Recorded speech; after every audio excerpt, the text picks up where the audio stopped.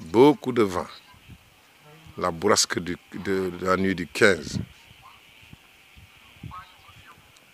a eu le dessus sur le cerf qui a été complètement dont la toiture a été complètement enlevée. Beaucoup de choses à refaire.